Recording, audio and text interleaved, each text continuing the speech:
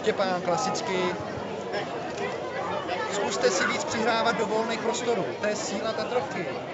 A ne to spát tam, kde jsou nejhustší místa. Ale z toho, co já jsem viděl, tak má velkou pochvalu tady Martin za hereckou zkrátku. Nevi, ještě zápas Utrek, prosím.